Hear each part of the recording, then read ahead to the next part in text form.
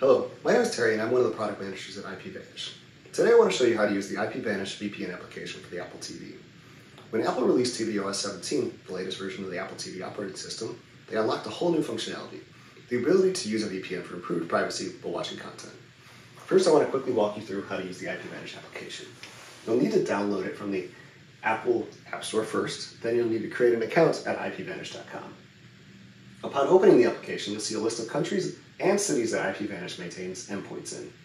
In total, there are 85 different VPN endpoints around the world that you can use, such as Adelaide, Australia, Amsterdam, Netherlands, Ashburn, United States. Now, you can actually add each location as a favorite location by long pressing the action button, hit Add Favorite, and you can now see I have Adelaide, Australia, Amsterdam, Netherlands, and Ashburn, United States as my favorite locations. In this instance, though, I'm actually going to connect to the optimal location, which is the location that IPVanish determines is the best location for you. For you. In this case, being based in Cleveland, connects me to Detroit, and I've been connected for five seconds, and my IP, the VPN IP address is there. Before I proceed, I want to go over why using a VPN your Apple TV is so important. The very first reason is personalized advertising. How do advertisers personalize this data? They do this by your IP address. The way this works is they place a pixel on their website which captures your IP address, then when you're streaming media on any device in your household, they match your streaming IP to the IP that you use when visiting the site.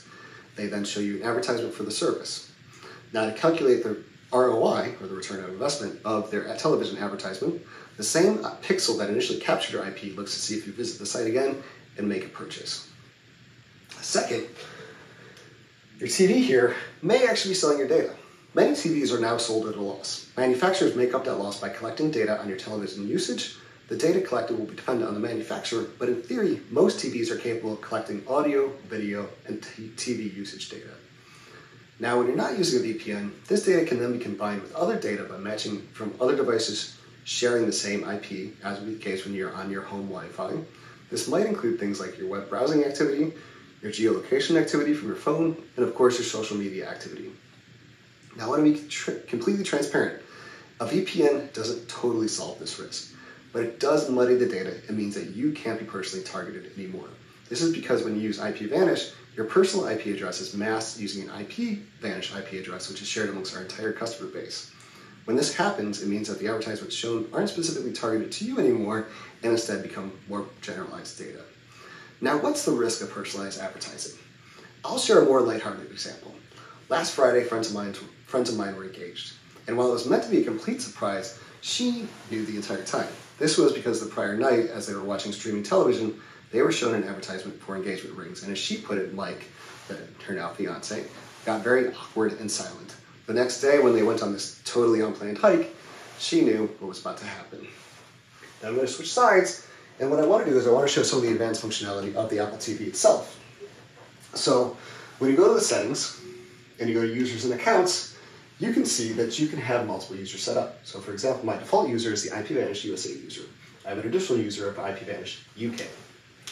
And you can always validate this because when you go to the App Store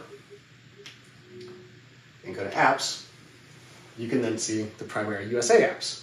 So you can see here I've got Max, Disney Plus, Peacock, Hulu. Now when you go to Games, you can see the price is shown in the US dollar. Now I'm going to go back to users and accounts. I'm going to switch the user to the IPVanish UK user. I'm going to go back to the App Store, go to Discover, and you can see things like Now TV, ITVX, uh, Channel 4, and BBC iPlayer, which are all common in the UK. And when I go to Games, you can see the price is in the pound sterling. Now, I will want to warn, you will need an an address, an actual physical address, not an IP address in this case, but a physical address in each of the locations where you want to establish an iCloud, account. This is because that's how they determine what, what App Store library you get. Now, one of the other functions I want to show you is how to do a forced close. Now, you might want to do a forced close because at certain times you might receive an error, such as the content isn't able to load, or you get the incorrect library of the content that you expect. So you may want to force close the application. The way you do that is you double click on the button that looks like a mini TV on your Apple TV remote, and then you swipe upwards and you can force close the applications. Then they'll reload and hopefully they connect correctly or they connect you to the correct library. As always, we appreciate your business at IPVanish. This is our first video, so I personally welcome your feedback and encourage any ideas that you have. You can interact with myself and the IPVanish team at our newly established subreddit on reddit.com at IPVanishOfficial.